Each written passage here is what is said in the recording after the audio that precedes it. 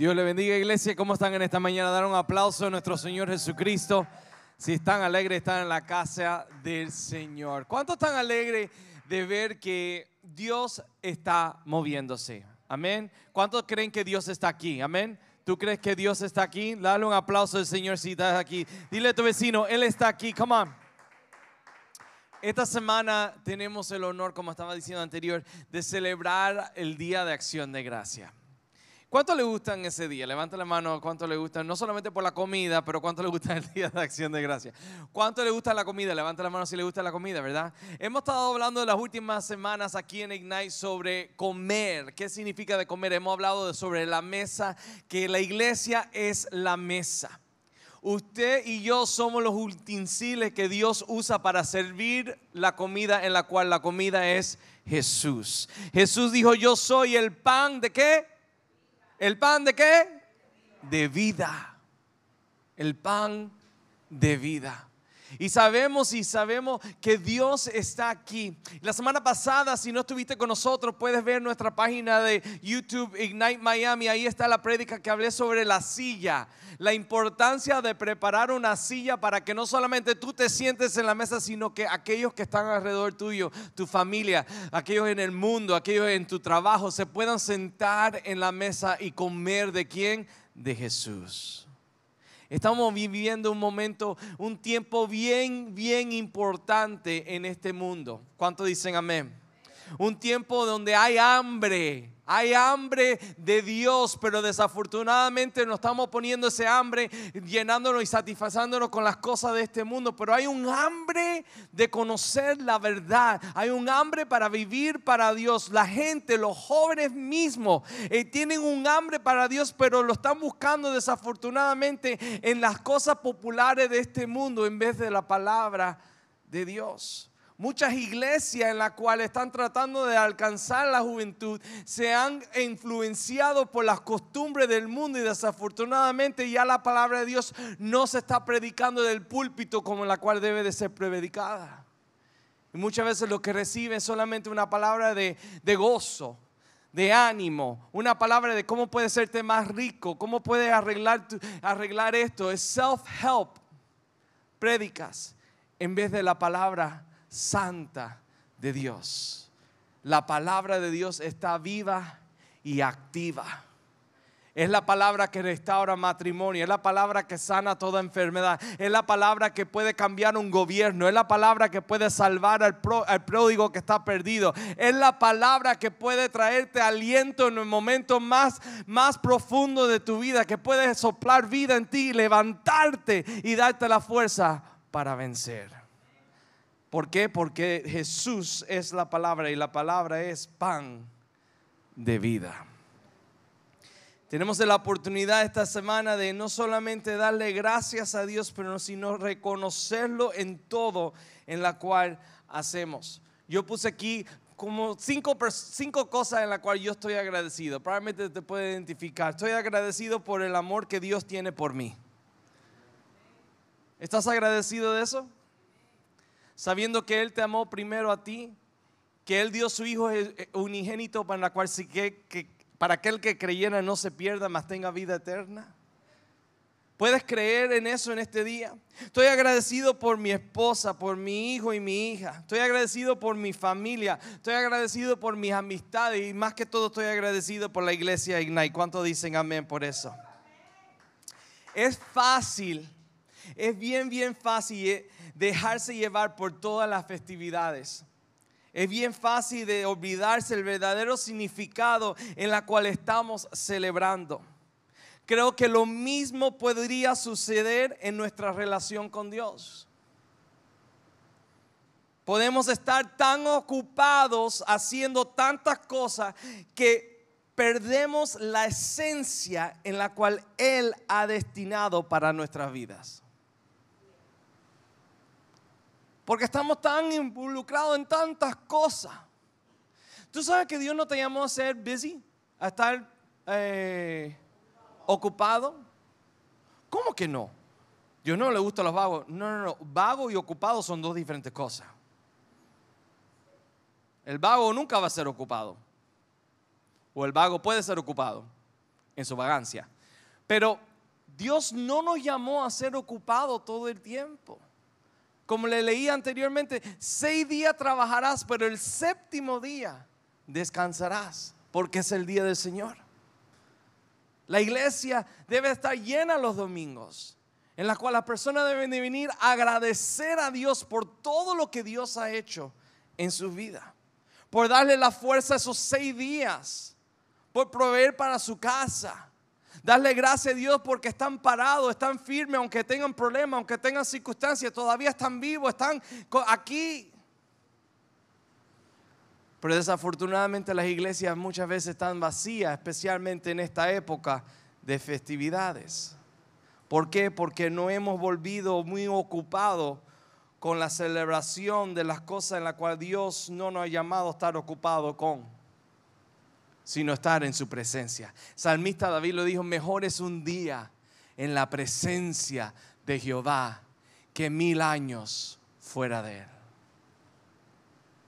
Déjame decirte algo, los momentos más importantes que ha pasado en mi vida ha sido en la presencia de Dios.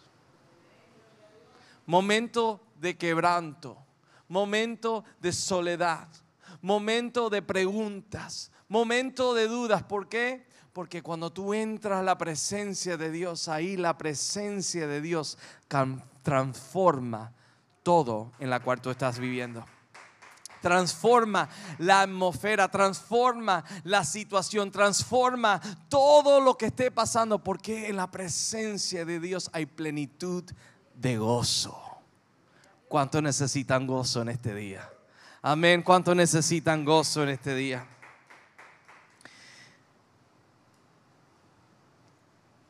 Tú sabes que eh, eh, esta semana mi hijo Liam cumple siete años. El tiempo pasa, sí, cumple siete años.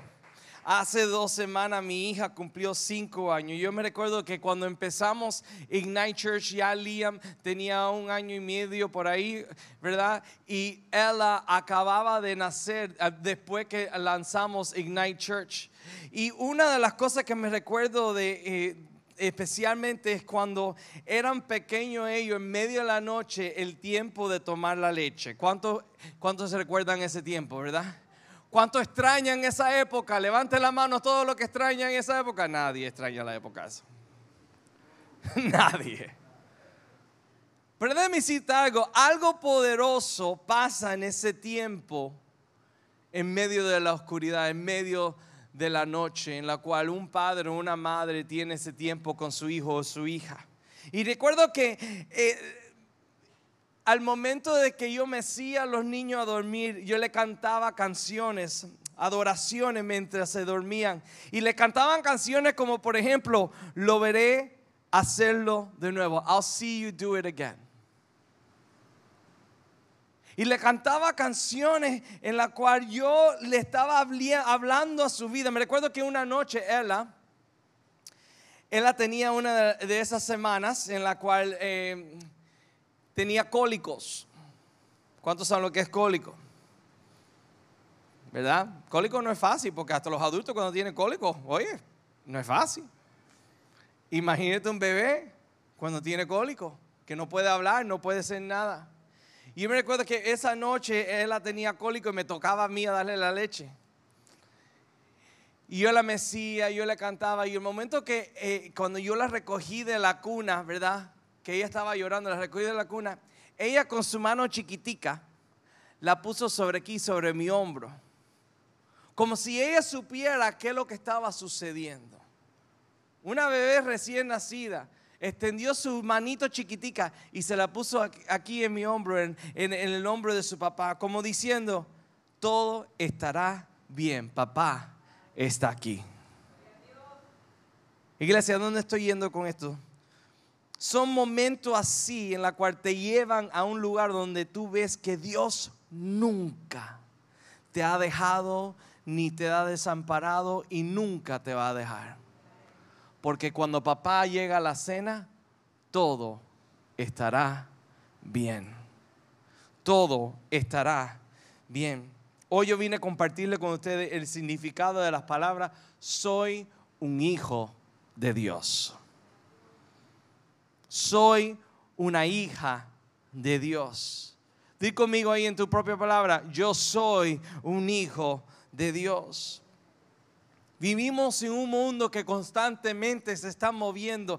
Este movimiento puede convertirse en nuestras, nuestra vida como obstáculos. Y ya que nos convertimos en esclavos del sistema sin darnos cuenta.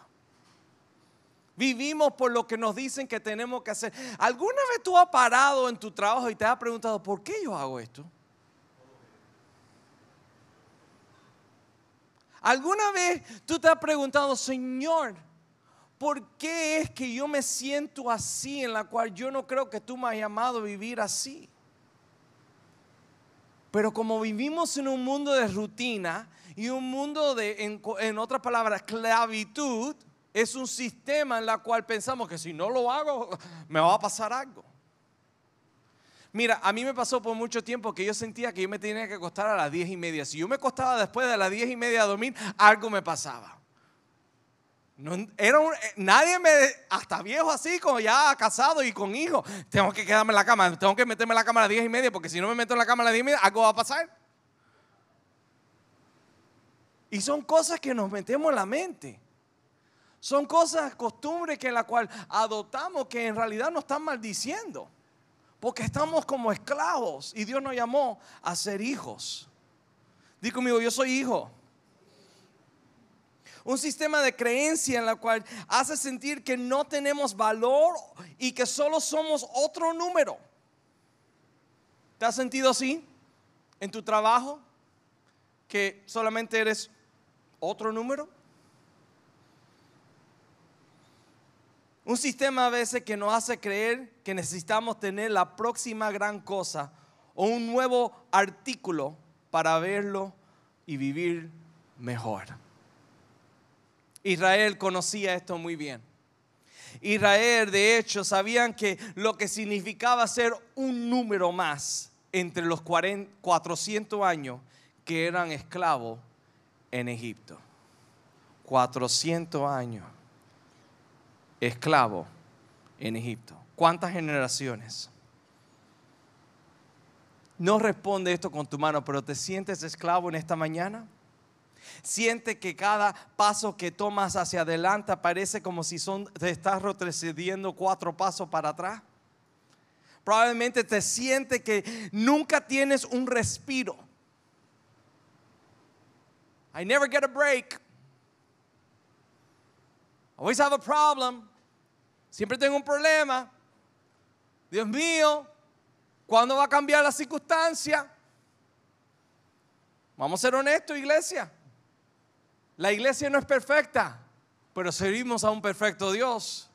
Somos todos rotos, todos tenemos problemas, todos tenemos circunstancias en las cuales vivimos. No podemos vivir, eh, eh, eh, ¿cómo puedo decir esa palabra en español? Mm, como siendo, hacer como si somos perfectos aparentando.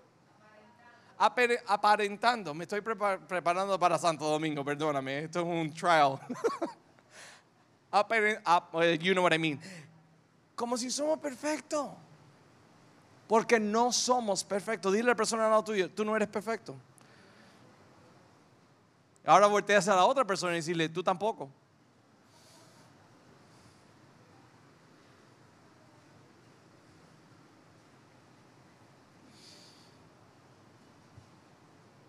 No importa cuánto lo intentes, siempre se siente como si se pone más oscuro antes que pueda ver la luz del día.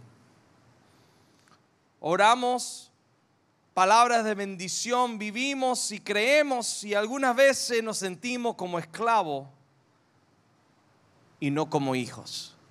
Yo vine a decirte lo que dice Éxodo capítulo 20 que leímos hace un minuto, versículo 2. Dice, yo soy Jehová tu Dios. Agárrense de esa palabra en este momento.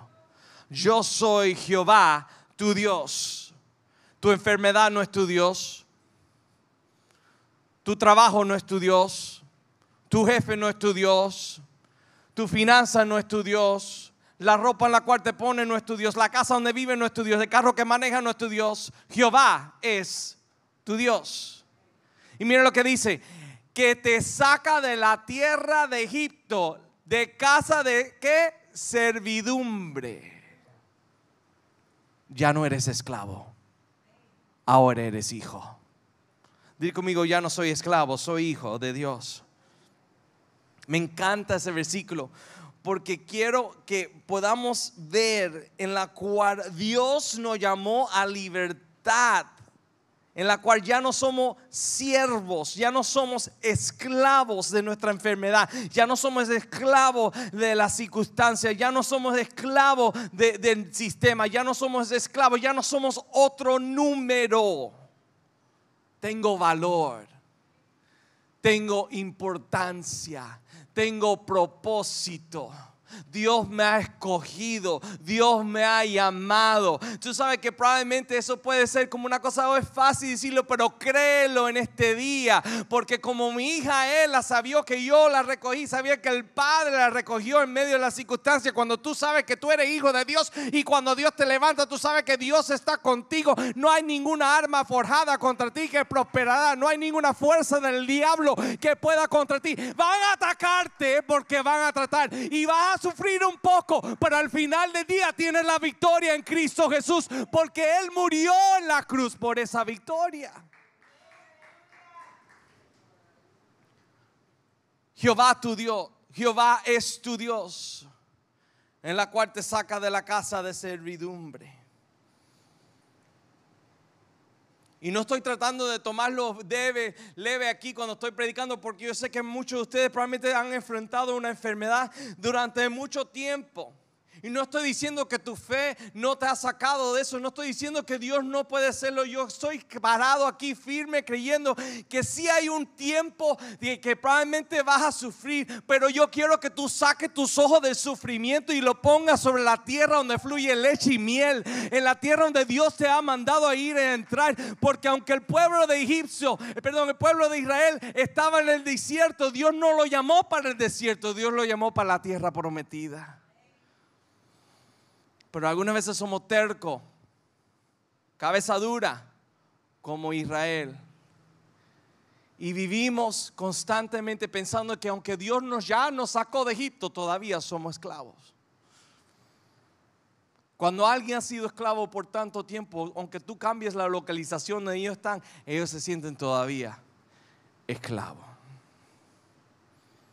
Por eso, por ejemplo, personas que han estado en, eh, en la cárcel por muchos años, hay un tiempo de poder reestablecerlo en la sociedad, porque no saben qué hacer. Por tantos años han visto las cuatro paredes esas con los hierros. Y si lo llevamos al tiempo espiritual o al momento espiritual es lo mismo, cuando somos esclavos espiritualmente y hemos visto esas cuatro paredes constantemente, es un ciclo y un ciclo y un ciclo, y es lo mismo, y lo mismo, y lo mismo, y lo mismo. Cuando Dios viene y viene a nuestra vida y nos dice, libre eres, algunas veces no lo creemos. Y en la cual, ¿por qué no lo creemos? Vivimos como si estuviésemos todavía esclavos. Dile a tu vecino, eres hijo de Dios.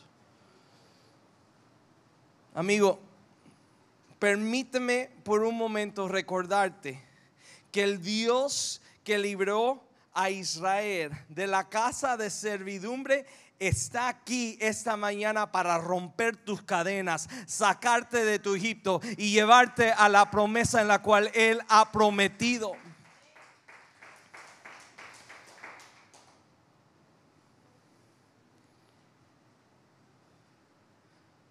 Hay que orar lo que Jesús oró. Que se haga tu voluntad y no la mía, Señor. De saber la voluntad de Dios algunas veces es difícil. Porque somos emocionales.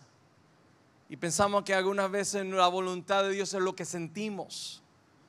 Y en verdad no es lo que sentimos. Porque cuántos ustedes pueden decir que tus sentimientos tu sentimiento te han afectado, te han, eh, eh, eh, te han traicionado antemente. Dios nunca traiciona, son no es tus emociones. La voluntad de Dios no se guía por emociones. ¿Qué cerca tú tienes que estar para escuchar la voz de alguien? ¿A qué distancia? Sin gritar. Ahora, ¿qué cerca tienes que estar a Dios para saber la voluntad de Dios? Una vez pensamos que Dios grita, Dios no grita. ¿Por qué va a gritar si Él es Dios? El que grita es el que no tiene poder. El que grita es el que se siente como Napoleon Dynamite.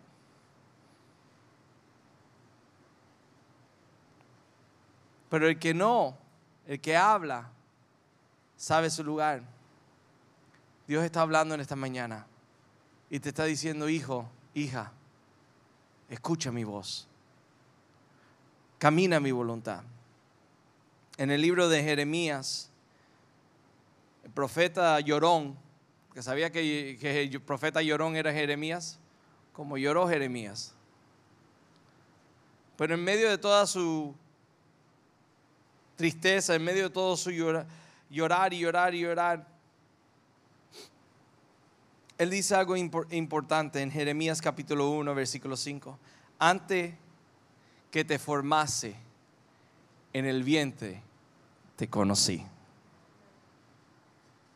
Y antes que nacieses, te santifiqué. Te di por profeta a las naciones. Jeremías probablemente pensó lo mismo en la cual nosotros pensamos cada vez que Dios habla bien de nosotros. ¿Será de verdad? ¿Yo? ¿Escogido? ¿Santificado? ¿Profeta? ¿Te ha pasado a ti? De que Dios habla bien de ti y tú cuestionas si Dios está verdaderamente diciendo la verdad. ¿Te ha pasado a ti que cuando tú lees la palabra de Dios alguna vez se conflicta en la cual tú crees quién tú eres y lo que la palabra de Dios dice quién tú eres? Mira lo que dice. El versículo próximo de Jeremías dice, y yo dije, ah, ja, Señor Jehová, he aquí, no sé hablar porque soy niño. Como diciendo, escogiste mal. No soy yo. Yo solamente soy un niño. Señor, ¿qué es tu voluntad? Hacemos algunas veces excusa en lo que Dios tiene para nuestra vida porque somos esclavos todavía del pasado. Decimos que no soy digno. No tengo, no tengo el poder para vivir una vida agradable a Dios. ¿Por qué Dios, Señor? ¿Por qué me escogiste a mí? Si tan solo supiera Dios todo lo en la cual yo he hecho mal. Y Dios en todo el tiempo te nos está diciendo, hijo, yo te he llamado a ti porque te amo a ti. Si tú reconocieras que eres hijo y hija de Dios, aceptarías el amor del Padre. De un padre no importa tan mal que el hijo ha hecho, un padre siempre ama a su hijo. ¿Cuánto dicen amén? ¿Cuánto más Dios? ¿Cuánto más Dios? ¿Cuánto más Dios que dio su hijo? Por ti antes que tú lo conociese a Él. Y Él es todavía fiel a su palabra. Lamentablemente hemos permitido que el sistema de este mundo nos haga creer que no valemos el amor del Padre. La verdad es que el Padre demostró su amor por nosotros antes que no existemos. Básicamente Dios estaba diciendo a Jeremías, que no se trataba en lo cual él pudiese o lo que él no pudiese hacer, él lo eligió, él lo escogió. En un versículo famoso dice que eres pueblo escogido, pueblo santo. ¿Cuántos tienen un problema? Levanta la mano. Cuando tú piensas en tu problema, ¿tú piensas que eres escogido? ¿Que eres santo? O piensa que tú eres otra persona común. Porque yo estoy viendo últimamente, eh, yo estoy en TikTok viendo algunas veces me salen personas así como de otros países, gente de, que tienen poder o tienen riqueza o, o tienen autoridad. Tú nunca lo ves caminando así con su cabeza para abajo diciendo, ay, yo no soy nadie. Mira todos los problemas que tengo, porque cada persona tiene problemas. No hay ninguna parte de persona arriba de la fase de la tierra que puede decir yo no tengo problema. Todo el mundo tiene un problema. sea pequeño o grande, porque más que tiene, más grandes son los problemas. ¿Cuántos dicen amén? Son problemas. Tú nunca lo ves caminando así. ¿Por qué? Porque sabe quién son. ¿Cuánto más tú que eres hijo y hija de Dios?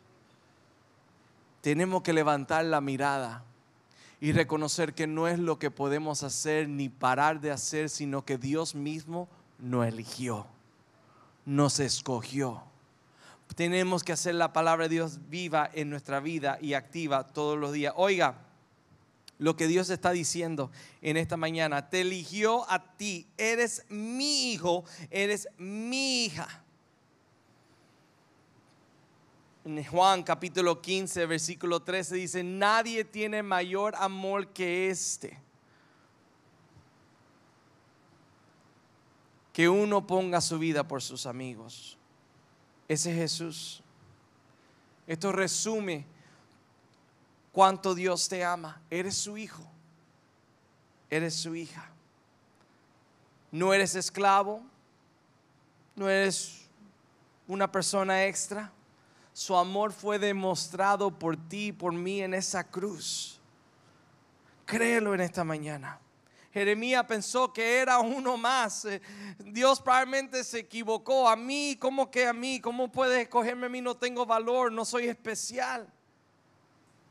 Pero Dios lo llamó a Él, como Él te está llamando a ti.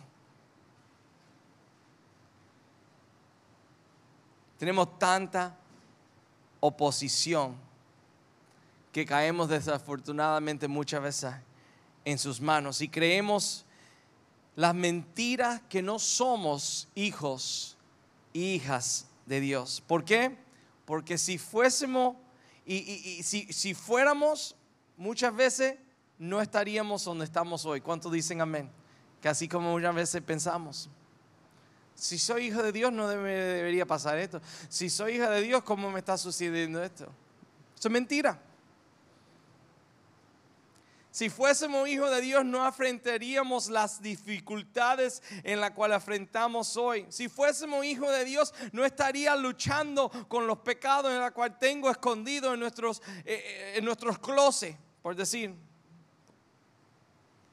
La verdad es que tu lucha, tu oposición e incluso tus pecados no determinan ni validan que eres hijo o hija de Dios. Solo la sangre de Jesús.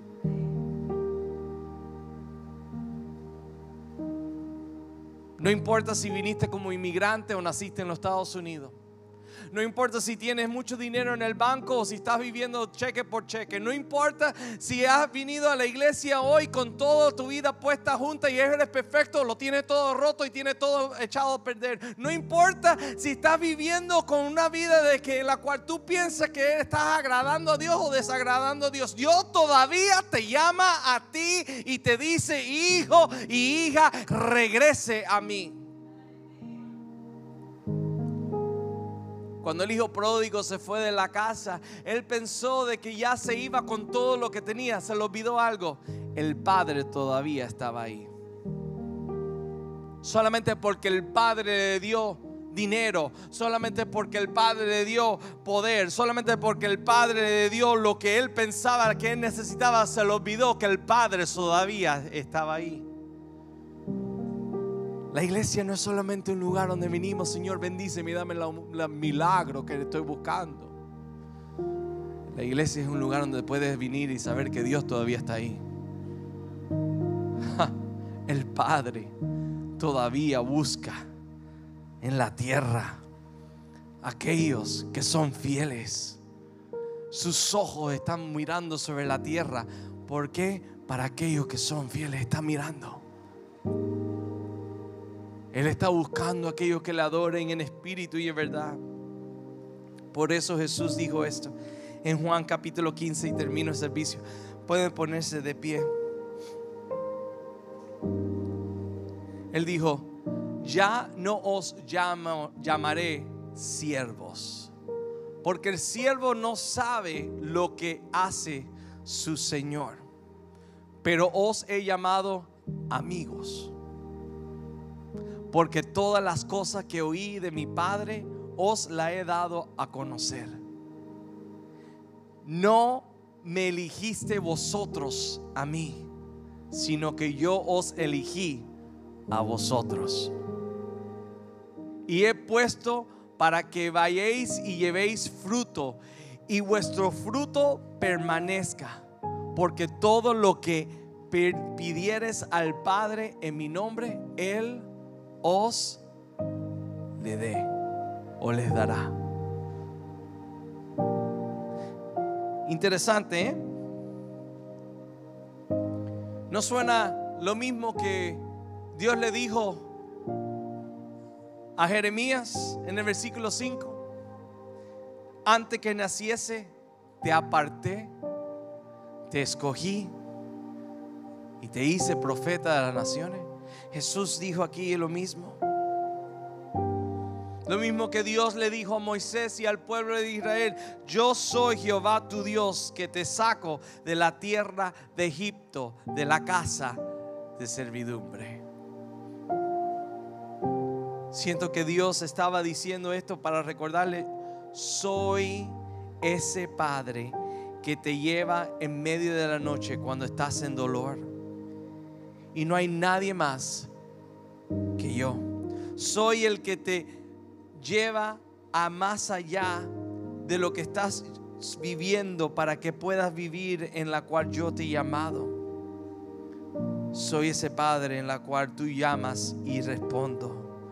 Soy ese Padre que te dice, no eres esclavo más, eres mi hijo, eres mi hija.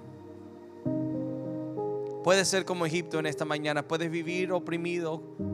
Después de 400 años estás ahora libre puedes seguir viviendo oprimido pensando que eres un siervo, pensando de que no tienes oportunidad delante del Padre. O puedes decidir en este día, voy a cambiar. Voy a reconocer como Dios le dijo a Jeremías, soy elegido y designado.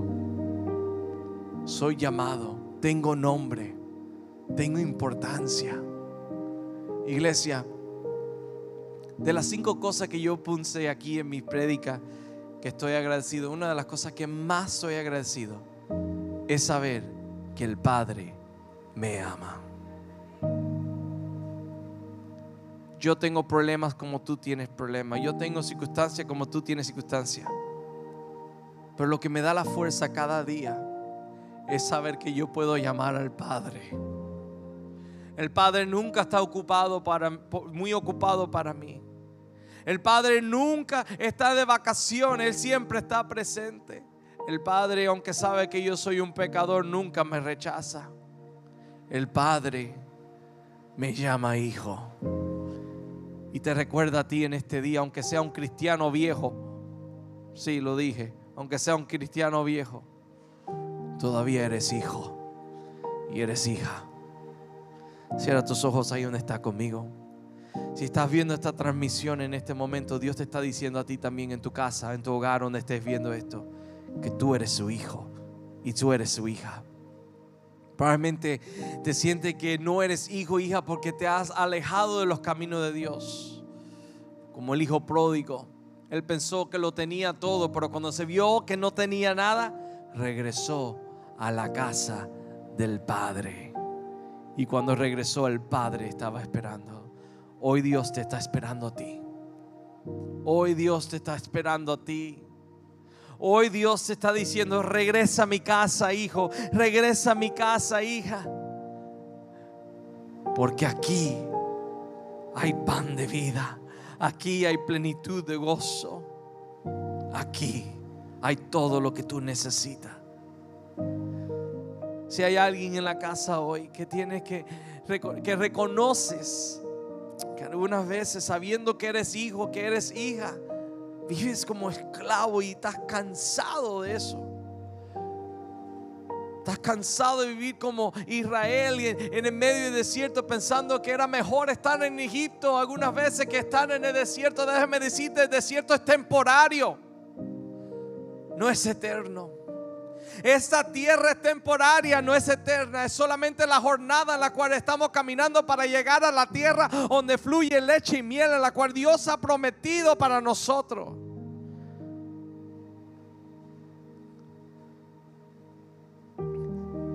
Si ese eres tú, y tú tienes que y tú reconoces que necesitas más del Padre, levanta tu mano ahí donde está.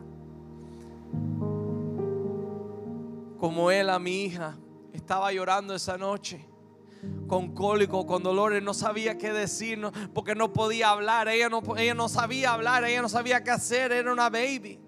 Algunas veces somos como baby, no sabemos lo que hacer, no sabemos qué decir, no sabemos cómo actuar porque estamos en tanto dolor. Lo único que tenemos que hacer es llorar al Padre. Y el Padre viene a recogernos. Aleluya, cuando el Padre llega todo cambia. Cuando el Padre llega todo cambia. Él está aquí. Él está aquí. Oh Padre.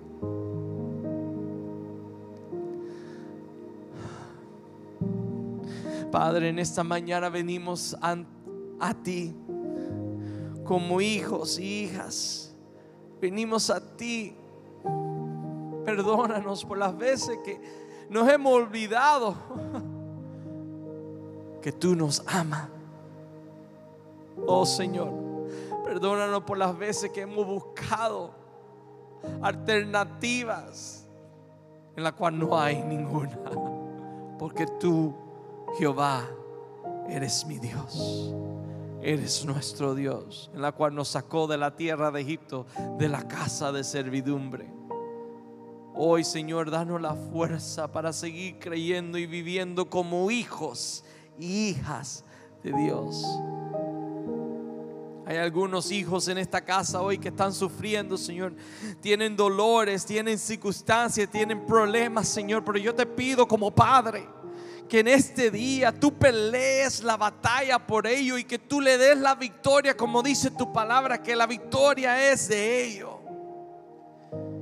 Que antes que termine este año, Señor, tú hagas un milagro poderoso. Que ni tenemos que esperar hasta diciembre 31, que esta misma semana, Señor, tú te mueves en su casa, en sus hogares, en sus finanzas, en su salud, ahora en sus carreras, Señor, ahora, Señor, que tú abres las puertas correctas y que cierre toda puerta incorrecta, que tú sane cada enfermo, Señor, que tú levante a aquel que está decaído, que tú le des fuerza, porque somos hijos y hijas de Dios. Gracias Señor, porque tú nunca nos fallas. Recibe el amor del Padre, iglesia. Recibe el amor del Padre. Recibe de Él en este día. Eres santo.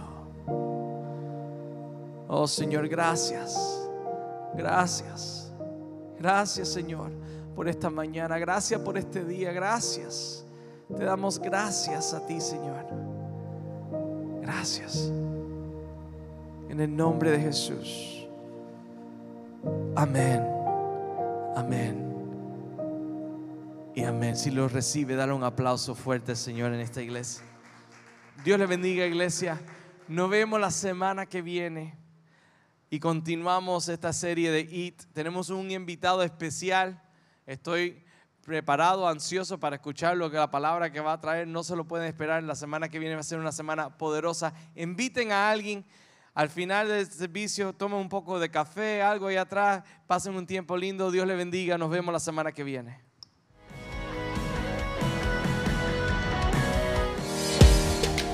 At Ignite, we believe in spreading the message of Jesus like a wildfire. Thank you for your support, and be sure to check us out on any of our social media platforms at Church Ignite. Until next time, be blessed and remember the best is yet to come.